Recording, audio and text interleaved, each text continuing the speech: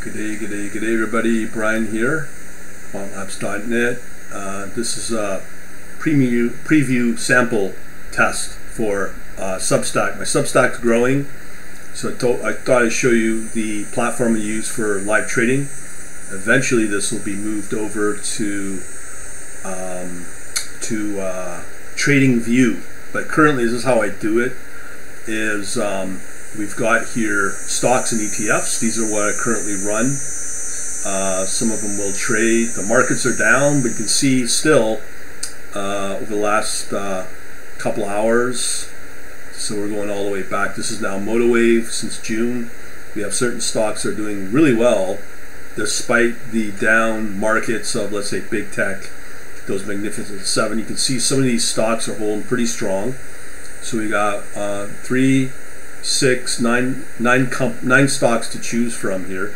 Some of them are active. I got a course on how I do this, but as I said, I'm going to update it with MotiveWave, or sorry, with uh, TradingView. But for now, this is how I do it live trading. So you can see here, I got this company called SYNH. We have a strategy uh, live running right now uh, using the MACD.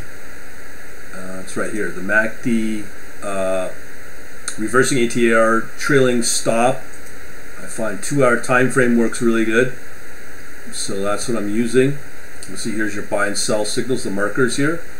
Uh, we also have here uh, NOV, uh, NOV. You can probably look these up yourselves. Most of the time, you don't really care about the company itself. Um, what you care about is the price action. And you can see this is a nice move here. It's gone up 14 to 20 dollars approximately. So these are a lot of companies you may not know about.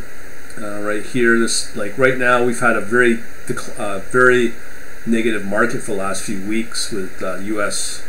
Uh, government creditworthies getting cut, and there's gonna be more to come. So right now, uh, these are the performing stocks. These are the best performing stocks. Been filtered out by sector.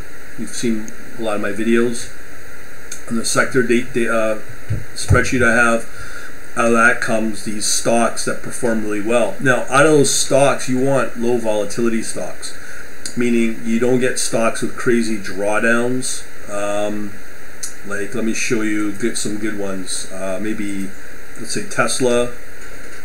I'm going to just show you that. Again, I'm running this on Linux for those that are curious. I prefer to do everything on Linux as much as possible, uh, just due to uh, you know telemetry on a lot of the different um, operating systems like that, Windows and your mobile, Android, and and uh, the worst one is Apple with the Mac OS.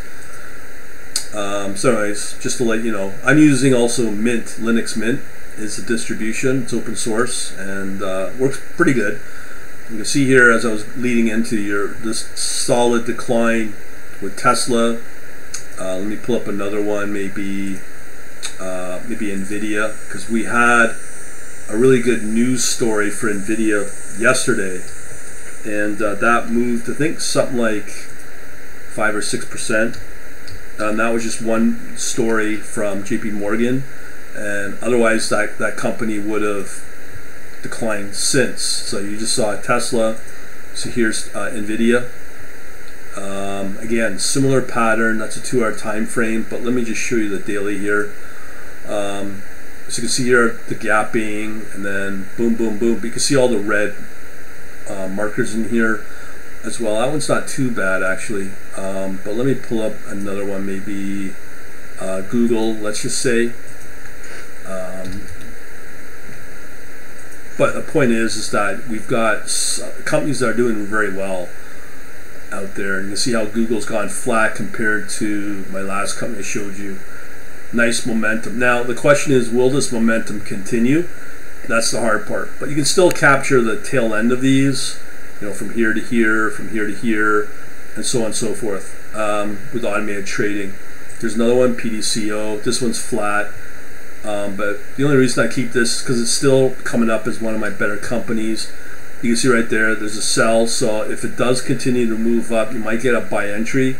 The problem is, is that will it get some momentum behind it to continue pushing up the price on the, on your next buy. Uh, as I've shown in TradingView, there are some scripts, uh, strategies you can use to kind of better filter that. Um, so once that gets built out, then I'll definitely move towards that. Um, currently, my broker is Interactive Brokers as well, just so you know. Here's another company that does very well. So one thing I like about this strategy, just this is a, a more of an insider. Now that I see this, I'm going to activate it. And that's all you're really doing is just loading in your strategy for this is again MotiveWave. You load it in, pops up, up comes the parameters. Uh, all of these, these are custom coded by myself. Um, but the name of the game is, as you can see, that these two lines are uh, are, up, are moving. Once you get that cross there, that's your next buy. So this is a perfect company to buy into because you can see the uh, momentum over the last two hours. That six hours has been building, so we might get a nice profitable trade here. Um, and that's the sort of thing I like about this strategy um, because the market's been fairly flat or volatile. Um, you can take on some losses. Here's another company we all know about. If you're like me, I mentioned already. Interactive Brokers is a stock. Same idea right here. So the question is, will this continue? This trend, this momentum trend, we we could run into this kind of situation. But it's been a nice little stock, and the beautiful thing about this stock, there's no crazy whipsaws as I've shown you with Tesla. Uh, let's see what Google's doing. Yeah, Google's got a fairly steep drawdown. And when you compare the same type of time frame to a lot of these stocks, these smaller stocks, you're not getting those crazy drawdowns. You might get lucky and get one of these that starts an, an early breakout and may continue. So we, you know this this this NHC could continue with a breakout for the next few days as the momentum builds. And you're going from 58 to $69. Now, will that continue? continue looking at the market, um, you can definitely uh, verify that by using fundamental data on their latest forward guidance uh, to see what the company feels about their outcome, uh, their outlook. So, if it's building, these are how you find your winning stocks. Again, with interactive brokers, just nice trend up. Uh, no, no, very very few drawdowns compared to as again compared to Google, um, and then it goes flat. And here's another big drawdown as well. You don't want to be part of those stocks. I mean, it's fine to be you know when you get a big story like the AI and Nvidia and the rest of them drive up. At some point, they will uh, cool off, which they're doing now. But when you also look at um, these, these are the more I guess call it contrarian stocks that are doing very well, and as I said, they have very low volatility, and that's what you want because the low volatility will protect you from the extreme drawdowns. So here's another one, CMCA. These are beautiful stock plays. These are beautiful trend lines that you won't get anywhere else. Um, that's because of my Python scripts. Find these by again going into um, the best performing stock sectors. Um, built around each month and it resets at the beginning of each month. So we're already halfway into August. And you you know, when you look at the news of the markets, you think there's calamity, but yet we've got nine companies here that are moving up really nice. So see right here, you can see there's gonna be a sell signal coming up. So this would be another good one to buy into. You got uh, just just looking at that marker there, we can expect a sell signal but the danger is, will that continue to drive up? And at any point, this, these rallies can can dry up and either go flat or or go into a crazy with uh, drawdown like here with Google. And these are the big companies. Continuing along, we're looking at BJ as well. This is BJ's warehouse, I believe. And again, you see this consolidating here. So you may eke out some profit, but we can expect some a buy signal. If not, then if the markets do uh, move down, then you'll see these lines draw down.